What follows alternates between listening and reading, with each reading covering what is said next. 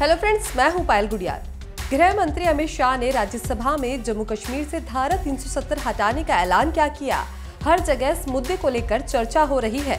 जिसे देखो, वो इस मुद्दे पर अपने रिएक्शंस दे रहा है।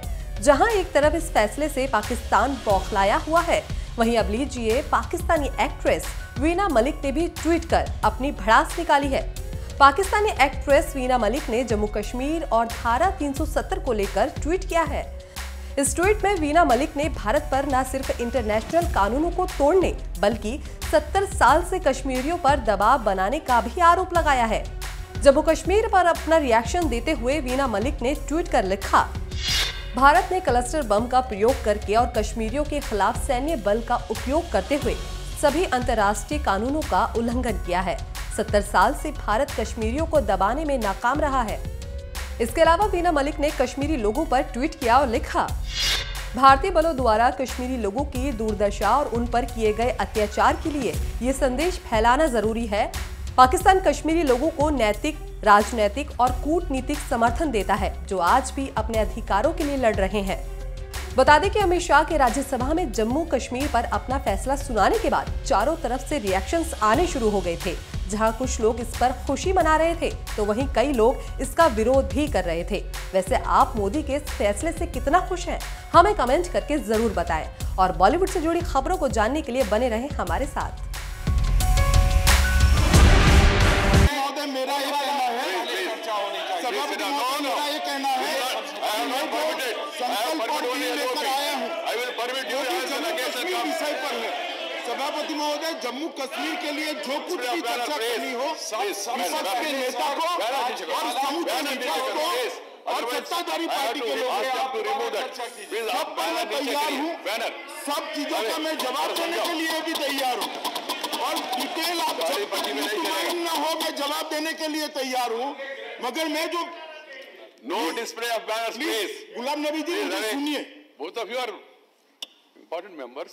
You can you can you can protest. Sir, that's not the way.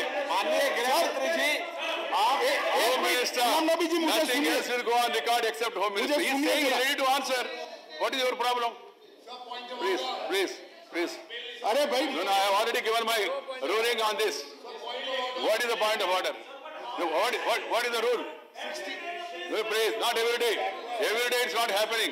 Please, you can't speak without my permission Shri Madhusudan Mistry ji आप वरिष्ठ है कृपया बैठ जाइए। आप बैठ जाइए पुनिया जी बैठ जाइए। What is what is the rule sir point of order everything will come for discussion everything will come for discussion but can I do you are friends sir my point of order is on rule 69 Sir, Rule 69 allows the chairman to use his discretionary power to introduce a bill on the same day without circulating it, without members reading it. It allows you the power, sir. It allows you the power. I have no quibble on that. Sir, my simple point is, sir, but the rest of the 69, 1, 2, 3, 4, and the first four lines, sir, on that I appeal to you, sir, to please, when these bills are circulated, please allow us the time to read these bills, to understand these bills. For example, this is a good bill. Right. But when we are not given the time, sir, I appeal to you. You have the power to circumvent all. But we feel deprived, sir. I, I got your point I, you. I Thank you, respond. I got your point there is a there is a reason I do admit that members need time to read it. So even after the minister introduced the bill, the members will be given an opportunity to give amendments up to 12:30 today.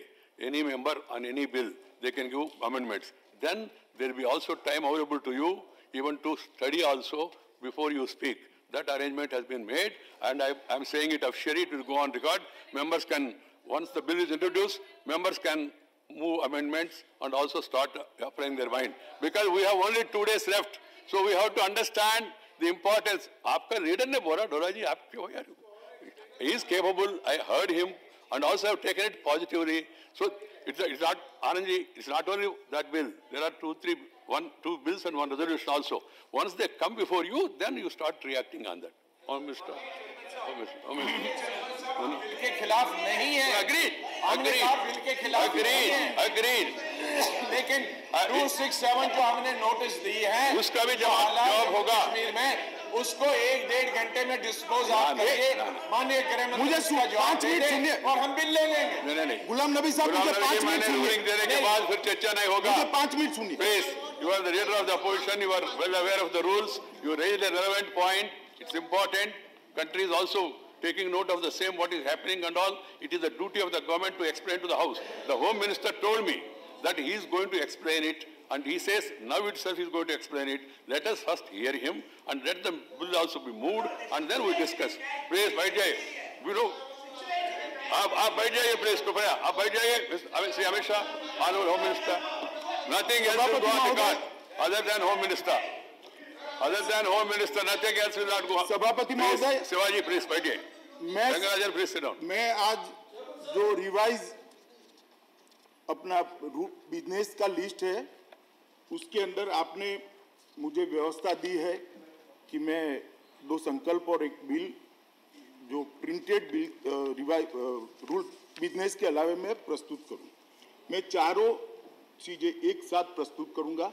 इस पर detail से चर्चा करेंगे और उसके बाद में मैं जवाब भी दूँगा और चारों पर एक के बाद एक के बाद एक कर कर डिवीज़न करना है तो डिवीज़न मगर मुझे भरोसा है कि चारों चीज़ें पर एक सहमति हो जाएगी तो हम इस पर चर्चा कर कर वोटिंग करेंगे। माननीय गुलाम नबी आज़ाद जी ने जो कहा कि क- क- कश्मीर की आज की जो स्थिति है उस पर चर्चा करनी चाहिए। मैं उनसे एक ही निवेदन करना चाहता हूँ कि चारों दो संकल्प और दो बिल जो लेकर आए हैं वो कश्मीर इश्यू पर ही है। उस पर आप अपना विचार रख सकते हैं। इस वक्त कश्मीर की आज की स्थिति पर भी रखिए। उस पर भी मैं जवाब दूँगा।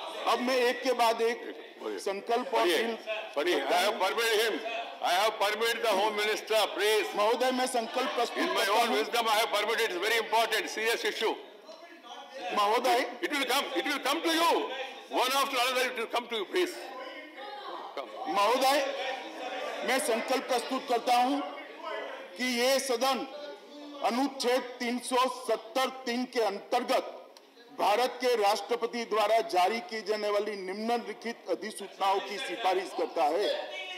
संविधान के अनुच्छेद 303 सत्तर तीन के अंतर्गत भारत के संविधान के अनुच्छेद 370 के खंड एक के साथ पठित अनुच्छेद 370 के खंड तीन द्वारा प्रदत्त शक्तियों का प्रयोग करते हुए राष्ट्रपति संसद की सिफारिश पर यह घोषणा करते हैं कि यह दिनांक जिस दिन भारत के राष्ट्रपति द्वारा इस घोषणा पर हस्ताक्षर किए जाएँगे और इस सरकारी इसको इसे सरकारी गैजेट में प्रकाशित किया जाएगा उस दिन से अनुच्छेद 370 के सभी खंड लागू नहीं होंगे सिवाय खंड एक के नामक तदनुसार पढ़ा जाएगा संविधान के समय समय पर संशोधित. बिना संशोधन बिना किसी संशोधन और कश्मीर राज्य पर लागू होंगे।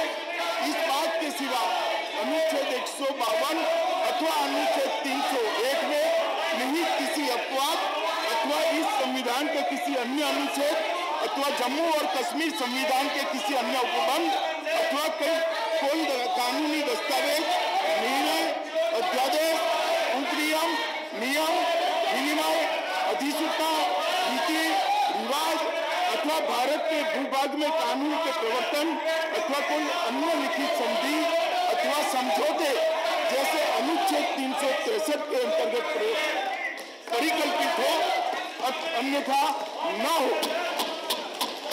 माननीय सभापति महोदय, मैं संकल्प प्रस्तुत करता हूँ कि यह सभा भारत के राष्ट्रपति की दिनांक 19 दिसंबर 2019 की उद्घोषणा के अनुरूप जम्मू और कश्मीर की राज्य की विधायी शक्तियाँ इस सदन में निहित होने एवं राष्ट्रपति द्वारा भारत के संविधान अनुच्छेद तीन के प्रावधान के अंतर्गत जम्मू और कश्मीर पुनर्गठन विधेयक, जम्मू और कश्मीर पुनर्गठन विधेयक 2019 को सदन के सम्मुख विचार के लिए संबोधित करने पर यह सदन जम्मू और कश्मीर पुनर्गठन विधेयक 2019 को स्वीकार करे